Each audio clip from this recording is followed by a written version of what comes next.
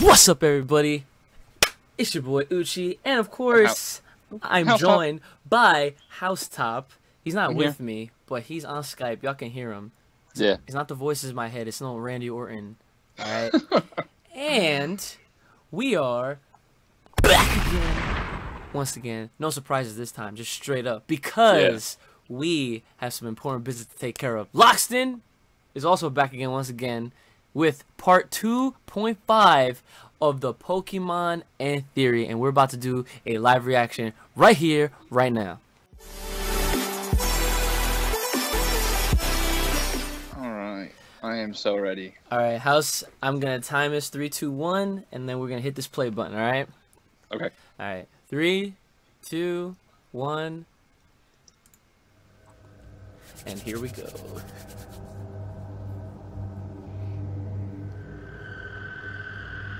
Yo, why is it always so epic?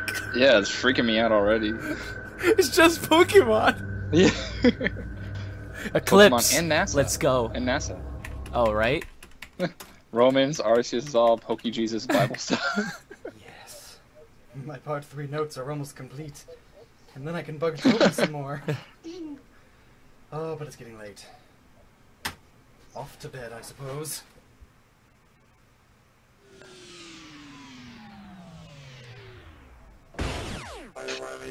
Oh, hey, it's my dreamscape. Where I sleep think. How convenient. Oh, nice. There's even a camera over there this time. Neat. Oh, hey, and it's Arizo. What are you doing here, Arizo? Um, Arizo? I have no idea. This is your dream, though I guess I'm here to help you think about some new stuff. New stuff? Like what? Well, Team Skull seems pretty interesting. Maybe they'll fit into your reset theory. Oh, Yo, I love that theme it's like you're song. reading my mind. right? Well, that's because I'm in your mind. Right, right. So, does Team Skull hold any significance in alchemy? Oh, oh yes, C- Caput Mortuum, Uh, you're What? gonna have to use Cafut Mortum? the alchemical skull. It, it literally fits into everything really snugly. Good. Now talk my ear off about it. Oh God. do. Already. Yo, nice. Ooh, the beginning. Yeah, was, I like pretty. This is that. pretty good. Yeah, dude. Yo, he always has a, a nice, unique intro. I always love that. Lockstin. Yeah. Always. So, Team Skull. They are the new bad guys for Sun and Moon, and with a name like Skull and in a place like the Alola region, what do you think is the popular assumption about their role in the game? I'm sure many people assume they'll be just simple pirates. They are into capturing rare Pokemon and selling them for money, or even just straight up stealing money. Perhaps they could also be poachers. Hmm. Alola is full of Pokemon found only there, what with all the Alola forms and all, and a lot of money can be made by harvesting them and selling their goods on the black market. But hmm. that would be too simple. I mean, that's similar to what Team Rocket Yeah. does, but ever since Team Rocket was no longer the main evil organization, every other evil team has been after something catastrophic. Team Magma and Aqua wanted to dry out or flood the Earth, or even revert it to its original form, Right. devoid of life, to uh-huh. start anew. Team Galactic wanted to reset the entire universe in their vision, and nearly achieved it.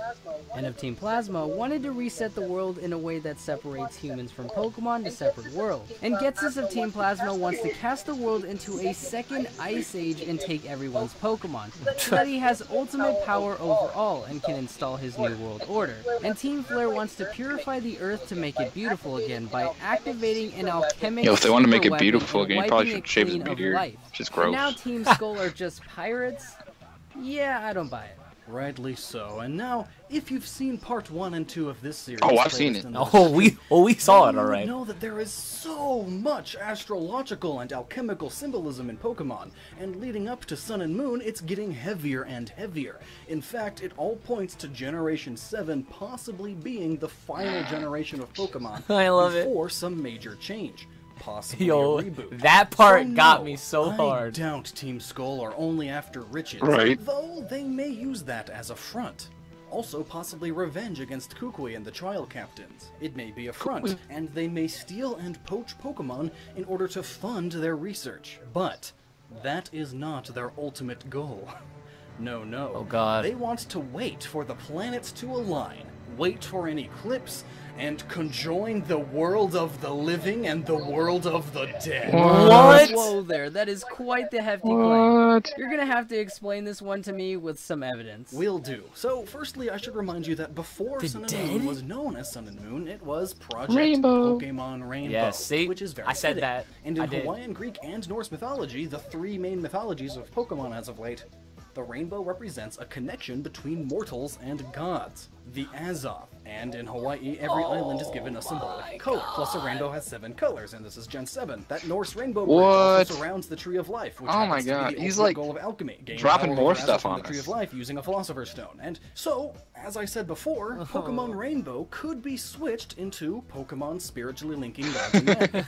that just doesn't roll Spiritual. off the tongue as well. Anyway, before we delve into the alchemic skull and the language of flowers regarding Team Skull, let's dig into the origins of Team Skull.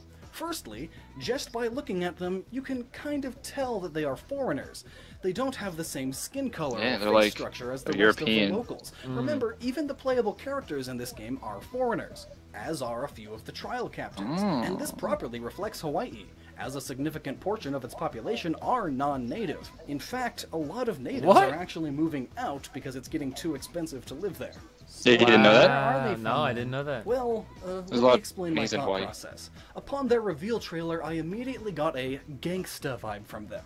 I should specify Gangsta. not Right. gangster like Team Rocket, but gangsta. And, and I'm sure you get that. Important too. difference. Yeah. But what type of gangsta?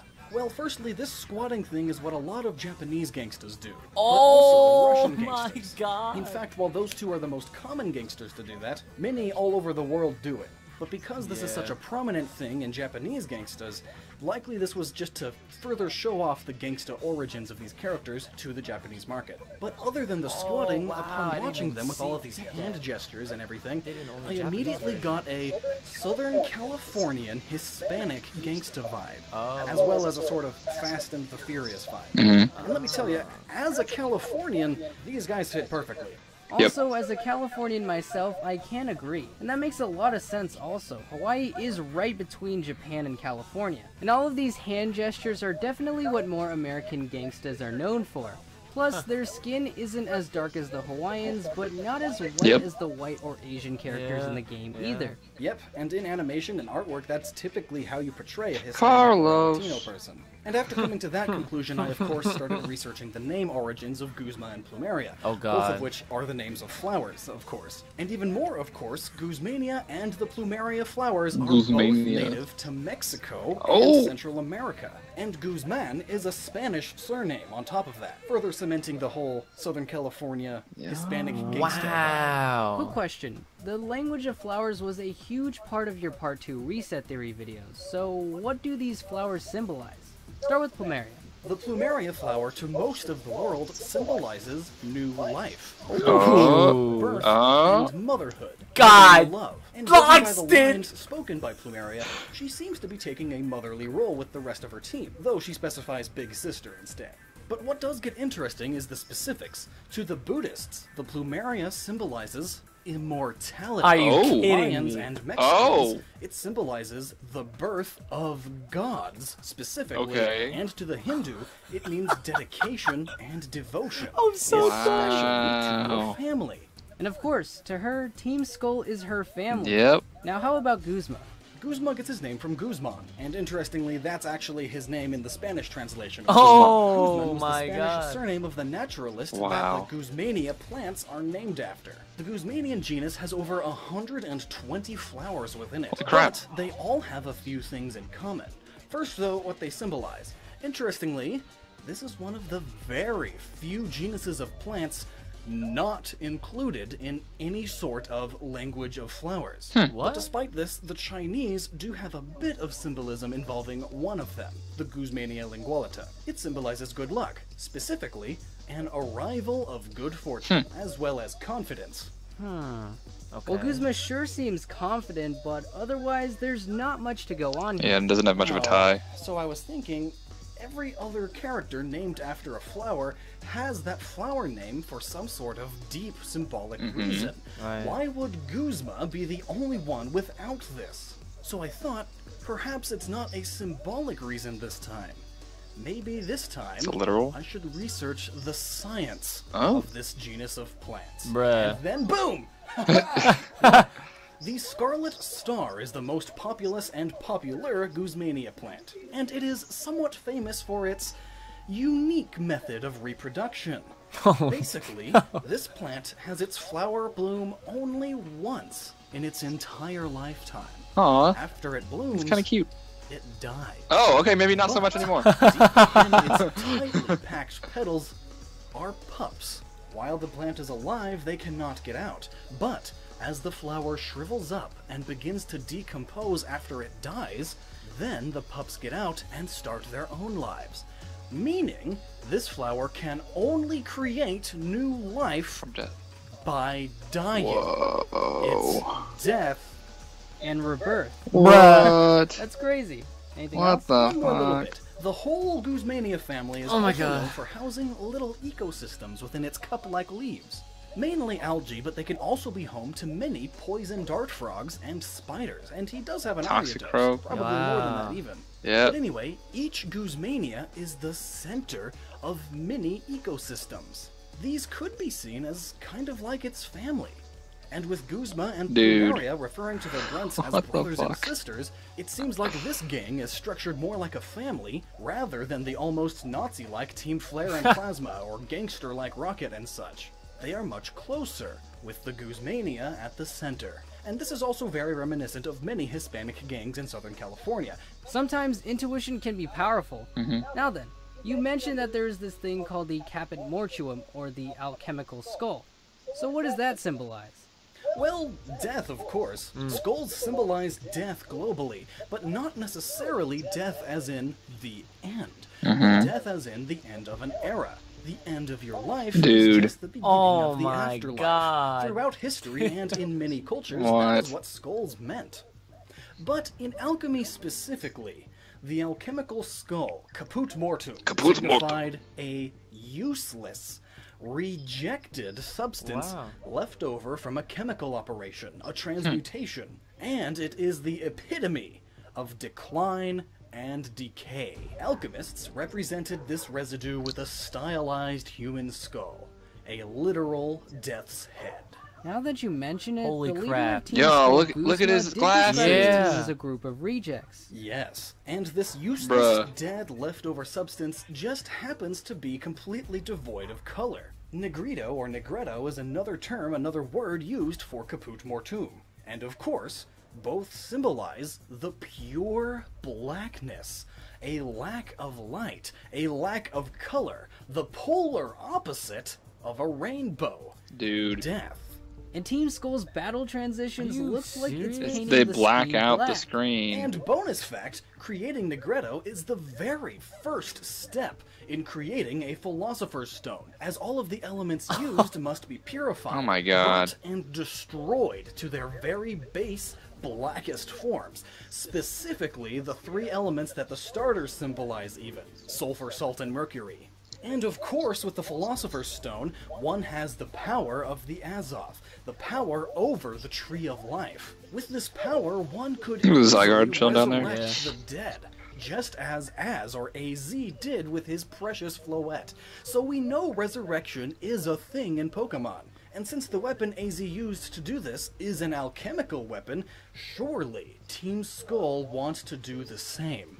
But on a massive scale. A scale only possible when there just so happens to be an eclipse. Many oh, Dude. Oh from my god. various Polynesian to various Mesoamerican and more, an eclipse symbolized a time when the gates of the underworld or the gates of the spirit world, land of the dead, Open. would open.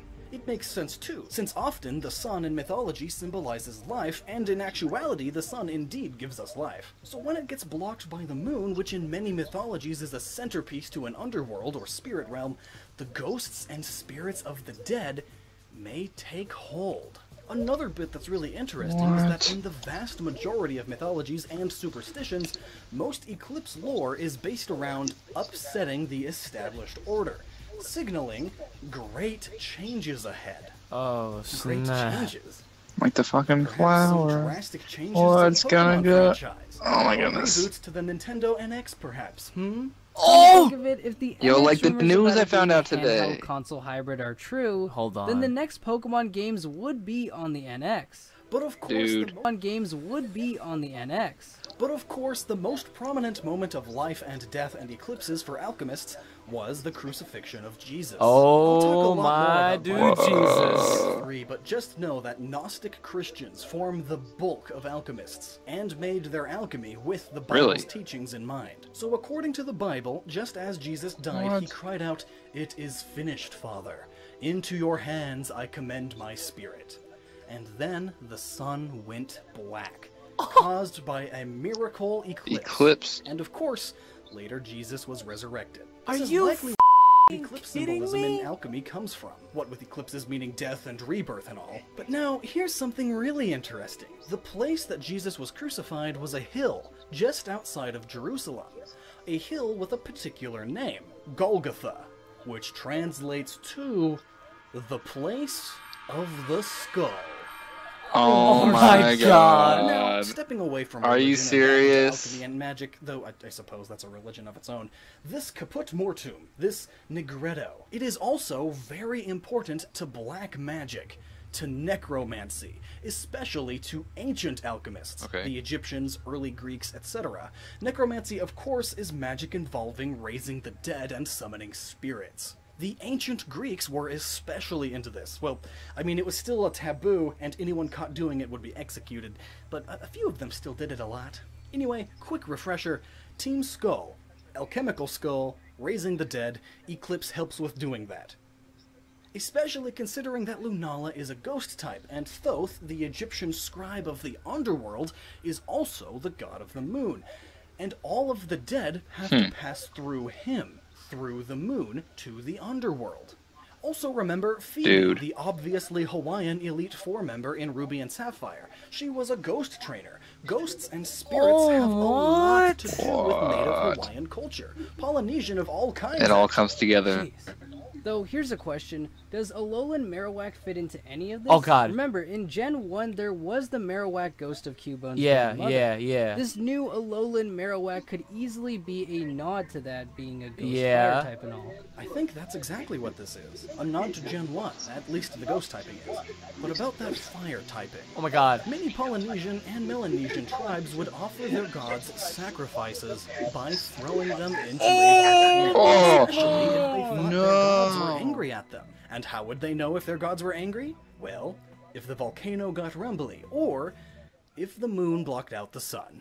Anyway, the skull is part of the leftovers, the remains of something that No. was alive but is now dead. Perhaps I'm doing- I'm doing a it reaction. all It comes all together comes as together. omen, and we will soon see things that are Oh dead my God. and alive at the same time. Oh my Especially considering that, in a way, that is how one would gain immortality. When you use the Philosopher's Stone to merge your opposites like an eclipse and become both alive and dead, oh. you can no longer Oh die because you're already dead while being alive.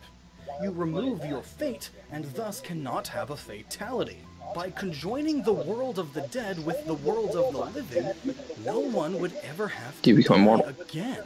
That's Whoa. actually a somewhat noble goal I could see an evil team justifying itself I with. can't Especially since those they kill or harm on the way will just be brought back. But what they don't realize is that this Yeah. would upset the balance and order of everything. And thus, Zygarde, the guardian of the earth and the preserver of balance and order, must take a stand, explaining why Zygarde is playing a big part in Sun and Moon. Yeah. Plus, actually, I did leave out one little tidbit about the symbolism of the Guzmania plants. I mentioned how to the Chinese they symbolized confidence, correct? Well, mm-hmm. it's confidence with an asterisk. It's being overconfident. Oh. Or rather, confident, prideful, full of yourself, yet you have Yeah. an inferiority complex. Because you Oh. know that in the end, you are imperfect.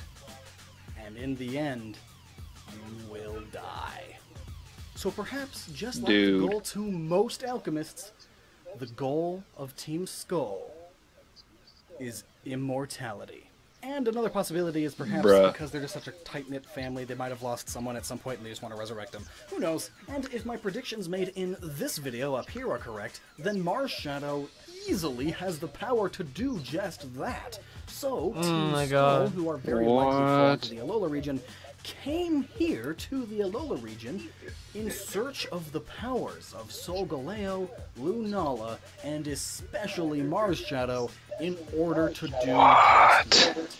Gain Oh my talent. god. This is oh wow. crazy. Well, in that case, I should go watch that video right now. Yes, yes. And also, if the viewers of this video want more Pokemon content, then they should definitely check out your channel, right here. It is really cool. Actually, it's Yeah, I'll check out his channel.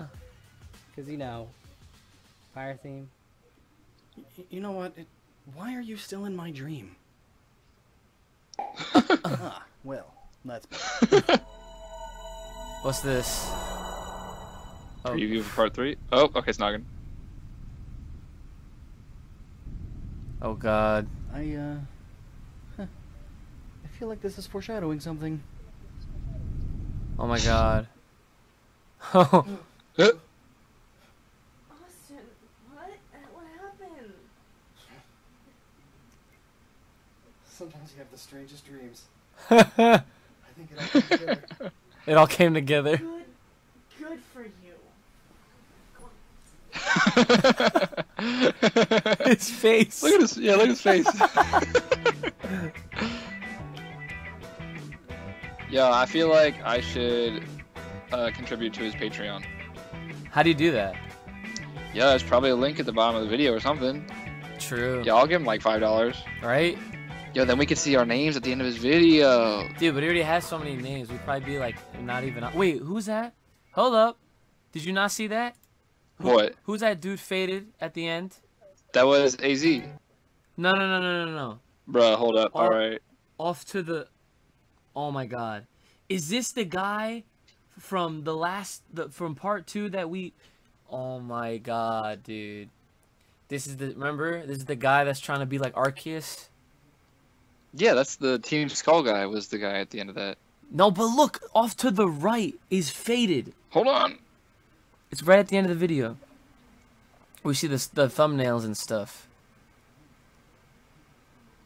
Yo, who was that? That's what I'm saying. That's the Arceus dude. Oh my god. Who is that? All right, all right, all right. I think no. I think that's. I I think that's the Team Skull guy, but but I don't know. I can't tell. All right, I don't all right, all right, all right, all right, know. all right. Pause, pause, pause, pause, pause, pause, pause, pause. Okay, All right, listen. pause. listen. This is our ana- analysis now. We now know what Team Skull is all about. All right. Right. They're trying to be about this immortality life. Now, Yeah. how does that tie into part three? Well, if you saw the part three teaser, you see that there is someone that's trying to gain all types of power and all that stuff, right? So that they can, you know, basically destroy, create, all that kind of stuff. Arceus. This guy is trying to be that Arceus figure that we see at the end. He's trying to. Do you think he's trying to become Arceus, like merge with the Pokemon, or he's trying to act as Arceus? See, either way, I feel like whichever way they, they go about doing it is going to be crazy. I would never even think to try to merge with a god like Arceus itself. Like, I, I don't even know, dude. What's crazy is just that Zygarde is supposed to be like the the like the Pokemon that's trying to balance everything out. But then like, what happens when Arceus comes down? Mhm. Like, what's he gonna do? I feel like Arceus is just gonna be part of a distraction, and then bam. Okay, so so what if the goal is to bring Arceus, right? Yeah. And then what if their goal is like to kill Arceus and then restart? Or use Arceus to make everybody immortal? What the fuck? Because because like Arceus I mean I guess I guess Mew would be more of like Jesus, but they could sacrifice Arceus and like crucify Arceus and then use Arceus as the key to becoming immortal. But see, like my thing is, if you destroy the creator, then how how is anything gonna be a creator after that? Yeah, I don't know. Like, Oh my Pokemon! Like what the hell? Oh, Lockstin, you've done it again, and it's only been a 20 minute video. Two yeah, he's back again once again with the hype. My God. So wait a minute. So all right, part three. When's that? Mhm. eh, Are we actually gonna get this, or is it gonna be Let's- like a 2.7? No, I think he's going part three next. So I think he has like a lot, a lot of stuff for part three. I'm gonna check his Twitter. Hold up. Let me see what he says. I don't know, guys. I don't. I don't think he said anything yet. However, I don't know about you, but I'm I'm like shitting my pants with how amazing that was. Yeah, no, well like- done. That was awesome. I, uh, I can't with these videos, dude. Like, it's just such great. Like, you learn so much. Yeah, right. He tied Like, in you're not- Jesus. I know. He tied in Jesus. Oh man! All right. Oh, Well, goodness. I guess let us know what y'all think about all that and what we thought about it afterwards. At this point, right now, all that's left is part three. Yeah. And part three is just gonna be a knockout of the park, guaranteed into like the next world, into Generation Eight, when that John Mm-hmm. gets reset. But I'm ass- I'm gonna assume that part uh three's coming out like mid to end September. you think it's gonna be that long? Yeah. Wow. Well, it was like a month and some from part one to part two, and then it's been what like two, three weeks since. Yeah, I guess it's been three weeks since part two came out. Yeah, about three weeks since part two came out for Oh, this one. okay. So I'm thinking probably like mid to end September, unless he has like that much stuff that takes like a lot longer. Yeah. Oh. Dude, even his thumbnail has has freaking. Oh, I can't remember the guy's name. The Team Skull leader with wings. Yeah. I didn't even know, I didn't even notice that. Yeah. Man, he's got like little Easter eggs hidden all over his stuff. It's almost like, dude, it's like he, he's done so much research to the point where it's just like, what if Nintendo just hit him up and they're like, all right, you got us. Yeah. All right. You want to write the lore from now on? You got it, dude. Like, Lockstin, take the wheel. That's. Seriously. Like, it just makes so much sense, but whatever, man. Let us know what you guys think in the comments below. Like, share, subscribe. Let us know. Tweet at us. Yes, please. At UG House Top and Mhm. at Uchi Games. All right. We're about to go try to calm ourselves down. All right. So, see y'all later.